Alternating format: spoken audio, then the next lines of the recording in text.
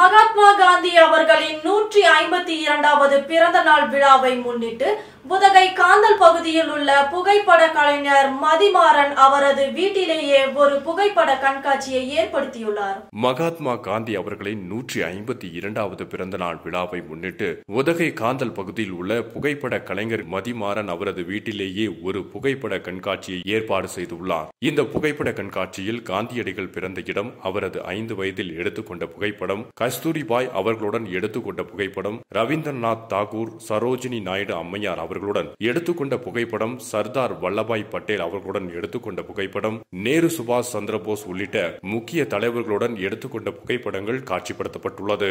மேலும் காந்தி அவர்களின் தன்னலமற்ற சேவையை பாராட்டும் வகையில் அவர்களது கடந்து வந்த பாதையை மற்றும் சந்தித்த மனிதர்கள் சுதந்திர போராட்டத்தில் நடைபெற்ற சிறந்த நிகழ்வுகள் ஆகியவற்றை புகைப்படங்களாக காட்சிப்படுத்தப்பட்டுள்ளது.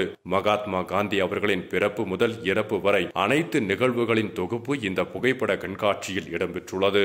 நூற்று ஐம்பத்தி ஒன்று புகைப்படங்கள் இந்த கண்காட்சியில் இடம்பெற்றுள்ளது. இது குறித்து மதிமாறன் அவர்கள் கூறுகையில் ஆண்டுதோறும் காந்தி ஜெயந்தி நாட்களில் பள்ளி மற்றும் கல்லூரியில்தான் கண்காட்சி நடத்துவது வழக்கமாக இருந்தது. கொரோனா நோய் தொற்று காரணமாக வீட்டிலேயே புகைப்பட கண்காட்சி நடத்த வேண்டிய நிலை ஏற்பட்டுள்ளதாக தெரிவித்தார். இந்த கண்காட்சி முழுவதுமே இணைய வழியில் மட்டுமே பார்க்க முடியும். பொதுமக்கள் யாரும் இன்றி இணைய வழியில் மட்டுமே இந்த கண்காட்சி நடைபெறுகிறது எனவும் தெரிவித்தார்.